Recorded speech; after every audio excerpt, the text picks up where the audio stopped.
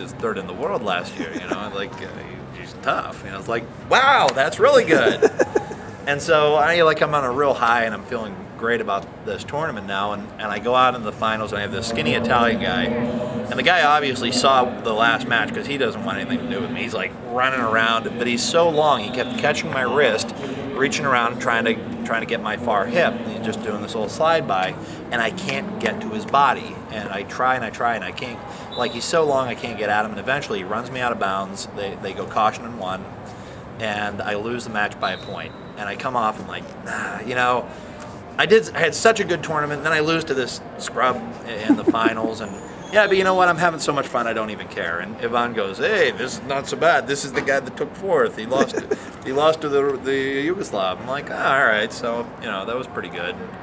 Um, and that was that was like a real kind of a peak in my life in a sense. Not not from the performance standpoint, but you know it was one of those times when everything was right. You know, I, I loved wrestling. I just wanted to go to tournaments all the time, and you know, it was back. It was as much fun as it had ever been, and uh, coincidentally, it was paying off too. I was really uh, performing.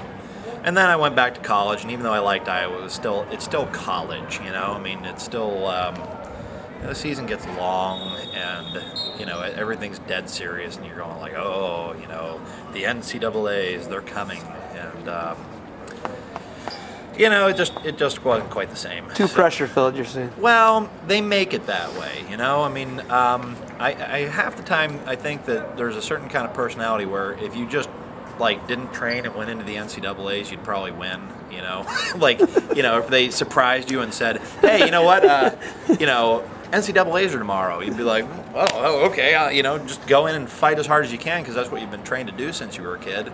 And you know, you'd probably do better. Uh, I, I, actually know a bunch of athletes right now that I could point out that, that are kind of like that, where I think that's more the atmosphere they need.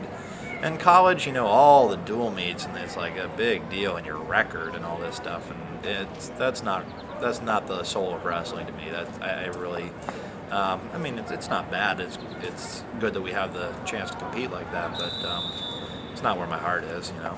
Um, so there, there's a long story. Um, and you can edit it down and put it on the internet, and people cannot watch it. and That's fine. Ray, it yeah. was certainly a pleasure talking to you. Thanks, well, man. That's I'm surprised.